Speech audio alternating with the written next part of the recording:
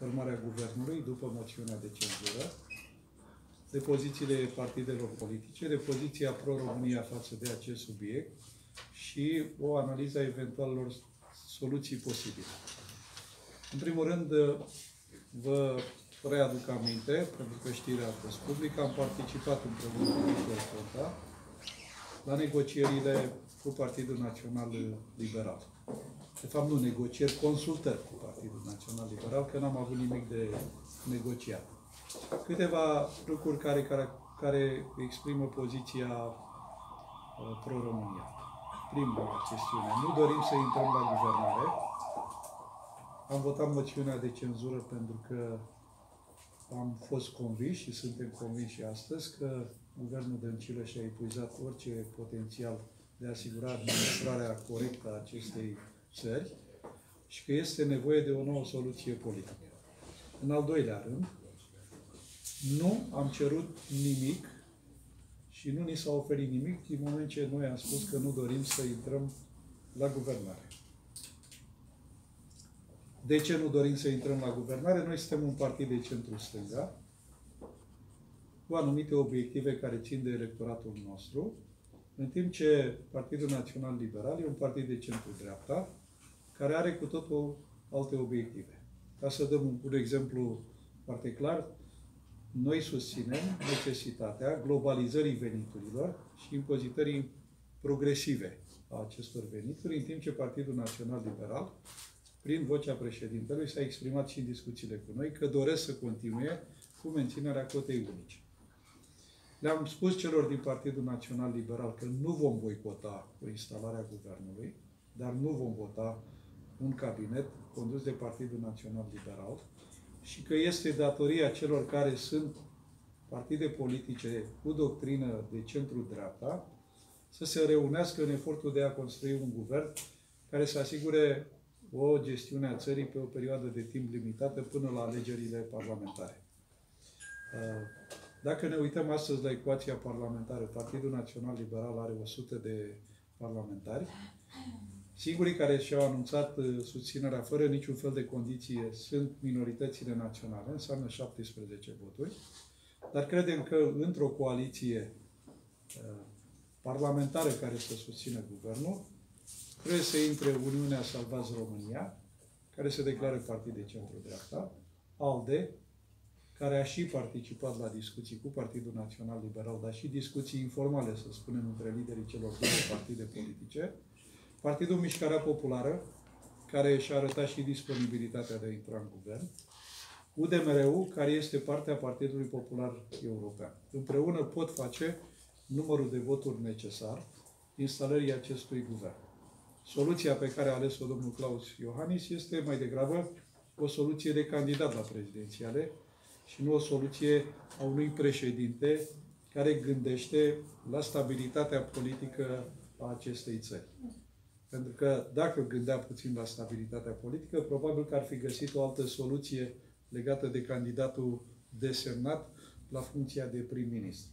Domnul Ludovic Orban reprezintă Partidul Național Liberal. Președintele a ales soluția PNL cu un guvern minoritar care este riscantă. Odată riscantă ca uh, proces de instalare a guvernului și apoi riscantă din perspectiva susținerii parlamentare va fi o majoritate conjuncturală creată un an de zile în jurul unor obiective care ar putea să fie împărtășite de partidele politice parlamentare. Ce am spus noi că așteptăm de la acest guvern? Așteptăm să pună în aplicare legea salarizării unitare, așteptăm să pună în aplicare legea pensiilor și vă aduc aminte că anul viitor, în luna septembrie, este prevăzută o creștere a pensiilor cu un procent important, cred că e 30%, și va trebui găsite resursele necesare până din aplicare. Ne așteptăm ca acest guvern să nu renunțe la salariul minim pe economie. Am văzut această idee vehiculată de unii lideri ai Partidului Național Liberal. În toată Europa, în Uniunea Europeană din care facem parte, în spațiul economic european, există reglementat un salariu minim pe economie. Singura zonă în care nu există salariu minim pe economie este Statele Unite, care au alt tip de economie, alt tip de abordarea acestui subiect. Am spus că ne așteptăm ca un guvern instalat la Palatul Victoria să procedeze rapid la rectificarea bugetului și să asigure resursele necesare funcționării instituțiilor statului, autorităților administrației publice locale, plății salarii și pensiilor, să propună un, un buget corect pentru anul 2020, care să țină cont și de ceea ce am spus ceva mai devreme, dar să fie axat pe investiții publice masive făcute de statul român în infrastructura mare. Mă refer aici la da, structura mare, dar și pentru uh, asigurarea resurselor necesare punerii în aplicare a legii salarizării și legii pensiilor.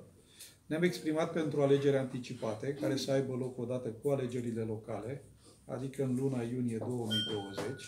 Este soluția pe care o vedem posibilă pentru ieșirea dintr-o situație de criză politică, iar luna iunie nu este una aleasă întâmplător, pentru că am să vă explic puțin dispozițiile constituționale. În primul rând, în luna, până în luna decembrie, pe data de 22, nu se pot uh, declanșa alegeri anticipate. Președintele nu poate dizolva Parlamentul în ultimele șase luni de mandat.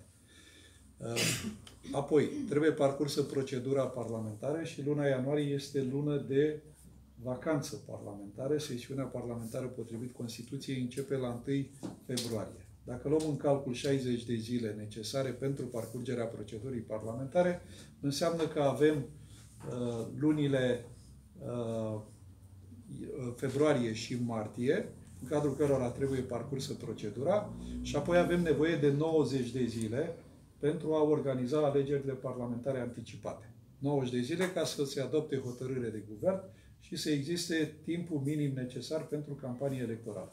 De aceea am putea ca în prima duminică din luna iunie 2020 să avem împreună alegerile locale cu alegerile parlamentare anticipate. Am cerut de asemenea domnului Orban să pună în aplicare propunerea noastră legislativă, care a fost respinsă de două ori până acum de Parlament, de diminuarea subvențiilor pentru partidele politice, revenind la criteriul existent până în anul 2018, respectiv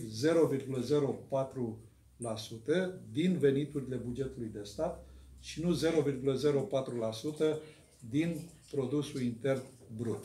Asta înseamnă o diminuare cu peste 70% a subvențiilor partidelor politice parlamentare și am cerut și o modificare care să aibă în vedere ca indemnizația, ca uh, subvenția să fie calculată pe parlamentari și să urmeze parlamentarul după regulile pe care le avem la Parlamentul European.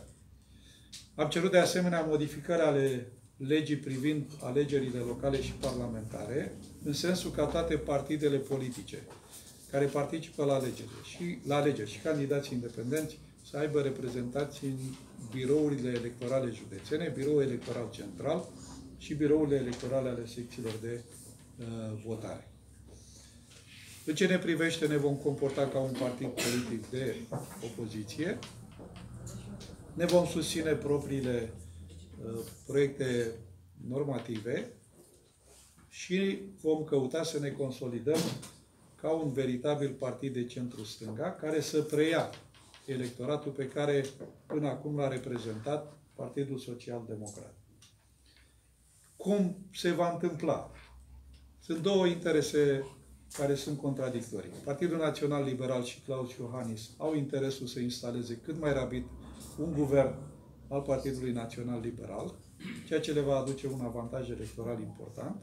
Partidul Social Democrat are interesul ca un guvern să nu treacă, doamna Dăncilă să rămână la Palatul Victoria până trece uh, turul 1 al alegerilor și dacă cumva va intra în turul 2, până ce va trece și turul 2 al alegerilor prezidențiale.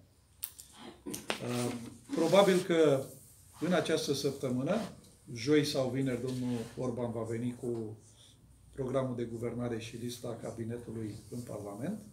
Vom asista la o tergiversare a procedurii de investire, pentru că Partidul Social Democrat are încă majoritatea în birourile permanente reunite ale celor două camere.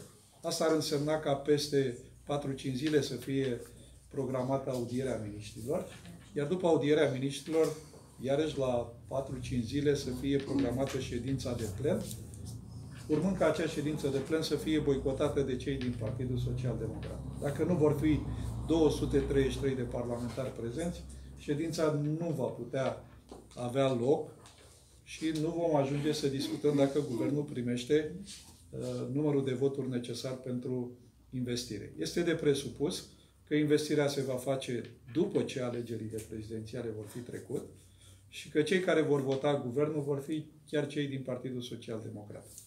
Și explicația este foarte simplă.